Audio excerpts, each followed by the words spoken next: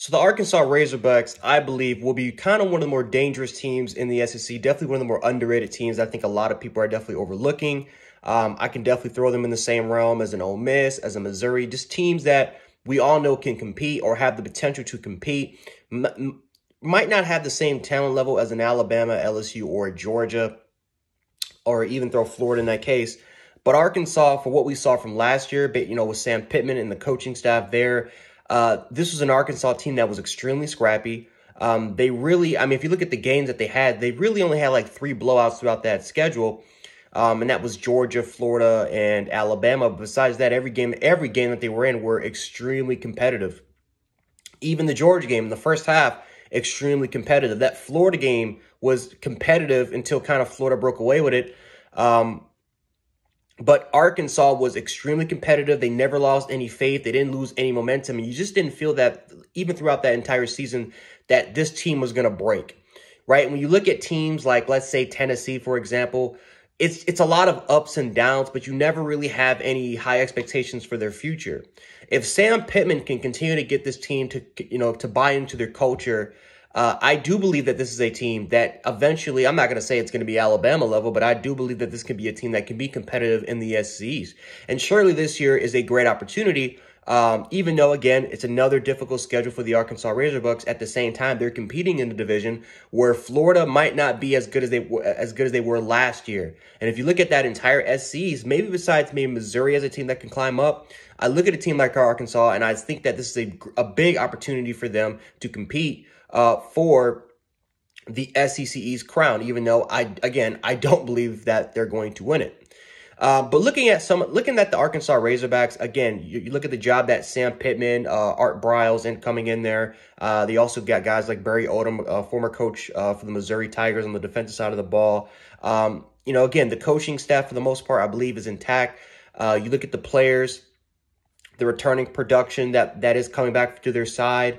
Um, you know, you do lose some key contributors. Uh, Mike Woods definitely is a big contributor. You're talking about their second leading receiver right next to Treylon Burks. That was one of kind of one of the better, you know, receiving duos in the, in the country. And now you have a guy like Mike Woods transferring over to uh, Oklahoma. Now you also bring in another transfer. I can't really, I think his name was like Jatavian something, but um, maybe Jatavian Williams. I, I, I got that confused. Um, but you are bringing a receiver from Oklahoma that is talented, um, that is known as a speedster, vertical presence, and maybe, you know, can definitely replicate the production that Mike Woods had at the University of Arkansas. You look at the offensive line, and I always talk about the trenches. Arkansas has all five starters from their offensive line. Now, again, Arkansas did not have the greatest offensive line last year, but you look at you know, but you look at Feleipe Franks and the amount of production he had at Arkansas, probably the best that he's ever had in his entire career, maybe in his entire career. A big reason for that was because of the offensive line. Um, Sam Pittman is an offensive line guru. You know, if, if, he was an offensive line coach anywhere else in the country, he is known for being not only the one of the you know one of the better recruiters when it comes to you know when it comes to uh, getting offensive linemen, but he's known for being one of the one of the best, if not the best, offensive line coach in all of college football. So I definitely believe that this Arkansas offensive line will take a step forward, and uh, I do believe that they have a guy that's projected as a they have a guard that's projected right now as a top fifty pick for next year's NFL draft. So that is definitely one of the positives going into your year is that again getting all five starters, getting all that experience, all that continuity. Uh, I I definitely I definitely believe that it will that it probably will pay off for again another difficult kind of year as far as their schedule. So very very important there. Uh, also getting guys like like Smith back as your running back, a guy that averaged over five yards per carry, had over 790 yards, especially in a shortened season that the Arkansas Razorbacks had for 10 games. 790 yards was great because again. You add in a couple games, he's probably going over a thousand yards. So again, a huge reason why a, a huge reason for his success is because of the offensive line. But when you have, again, the continuity, the chemistry between the offensive line, the running game is definitely going to be there for Arkansas and is going to be a key strength. Uh, KJ Jefferson is a unknown. Again, Feleipe Franks was the guy. I don't you know. KJ Jefferson is talented, 6'3", 240 pound quarterback. So he has the size, he has the arm strength. But I don't know too much about KJ Jefferson. Again, I'm gonna have to go back to the spring game. Um, you know, we need to see more game film on him against actual opponents. Uh, again, you know, if he can fit this Art Briles system, if he's a guy that can that, that can that can take charge, take command of the offense, and especially when you have a guy, a weapon like Treylon Burks, and you have some other weapons coming in, especially at the tight end position with Hudson Henry, expected to take on a huge role uh, at the tight end position. You know, we could see, you know, I'm not saying he's going to be one of the top five quarterbacks in the SEC, but could he be another kind of Feleipe Franks type of guy um, that could help out this offense? Absolutely. Again, he has the arm strength, he has the talent to do it. We just have to see, as a first year starter, what type of presence, what type of role he's going to have with Art with this Art Briles system. Um, I look at the defensive side of the ball, and even though defensively they they improved, but it's not to where you want them to be you have players, right? You, when you have Pool and Morgan, one of the best, if not the best, linebacking duo from a from a production standpoint in all of college football. You also have guys on the defensive line, uh, like um, like Greg, like Gregory. You have Williams there, uh, Gerald on the defensive line as well. Uh, you do lose uh, one starter, uh, John. I think it was it was Jonathan something. I forgot what his name was. Excuse me for that. But otherwise, this is a pretty experienced Arkansas defense. The secondary, for the most part, is still okay for the most part. They got some impactful players back there as well. Um, I look at this Arkansas defense, and can I see them taking another big step? I, I, could. I could see them taking another big step and being one of the better defenses. Uh, again, Barry Odom, um, I definitely believe it has gotten these boys on the right track.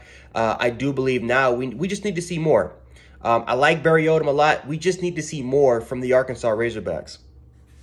Um, looking at their schedule, this is where we need, this is where you kind of like, eh, because when you look at that schedule, it's a difficult schedule, uh, right? You look at A&M, uh, very difficult game. You look at their kind of their first biggest test, that's Texas.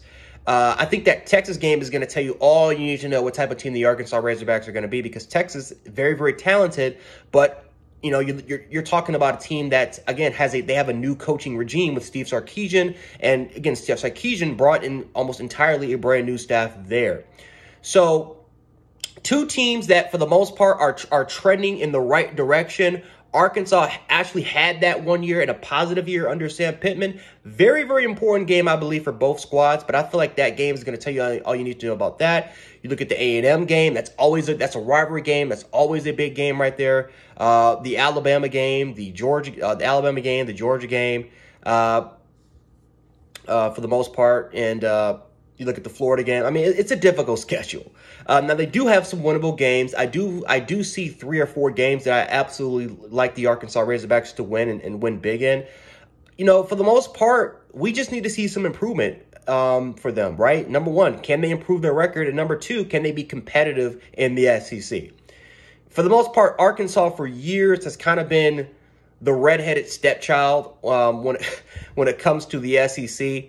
We need to see some improvement. Again, can they improve their record and can they be competitive? Last year, the record was not great. The record was bad, but they were extremely competitive in a majority of their games, maybe besides two that they weren't really competitive. Really one, and that will say the Alabama game for all straight four quarters.